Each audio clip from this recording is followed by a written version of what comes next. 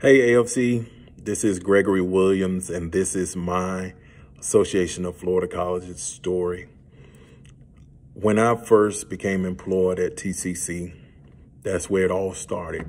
Uh, I remember Miss Sharon Walker doing her best to make sure that I become a member. And she told me the benefits of it. And what did I do? I followed suit and I became a member of the Association of Florida Colleges Tallahassee Community College chapter. But anybody that knows me knows that I don't just get involved just to say that I'm involved. I get involved to actually do work. So from that point, I started working. I would never forget uh, the first annual conference, but leading up to that annual conference that I went to, um, I received several emails about different positions that were open.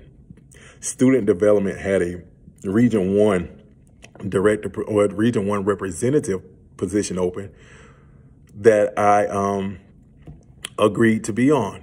But then also the and Professional Employees Commission had a position for chair elect open that I saw an email, but I thought it was from student development. And I told them, yes, I told you, I already told you that I'll do it. So at the end of the day, at my first annual conference, not only was I was the region one representative for the Student Development um, Commission, but I was also the chair elect for the Career and Professional Employees Commission. So y'all, I just want y'all to understand what they make sure you read your emails when we're sending out information about different positions. But guess what? It got me involved in AFC. In other words, I drank the Kool-Aid.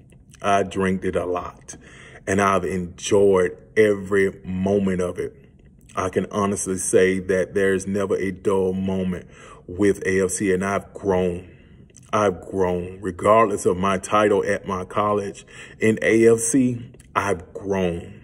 I went from just being a member at my local chapter to being a commission chair elect to being a Region 1 rep for a commission, to being a commission chair, hmm, to being the VP elect, soon to be VP for commissions next year.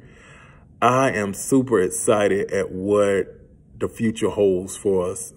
And I'm super excited at what the future holds for me in AFC because I'm not thinking about stopping at just being a VP I'm looking to go farther to being the president, mm -hmm, to being the president of the Association of Florida Colleges.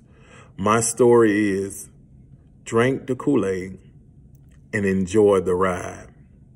Drink the Kool-Aid and enjoy the ride. The ride is fun. There is work, but it's good work. You're being an advocate for so many in the state of Florida that don't know you personally, but you are advocating on their behalf. That's one of our core values. You get your leadership experience. I've gotten a lot of leadership experience. I've met, oh God, I've met so many people with the association that I can't even really name them all. But when I see them face to face, it's like we've never been apart. So I want to say, I love the AFC and you should too. So this is my story. And I'm pretty sure once you get started, once you get started, your story is going to be just like mine. I started out at Tallahassee, but now I'm known statewide because of the Association of Florida College. Love y'all. Have a great day.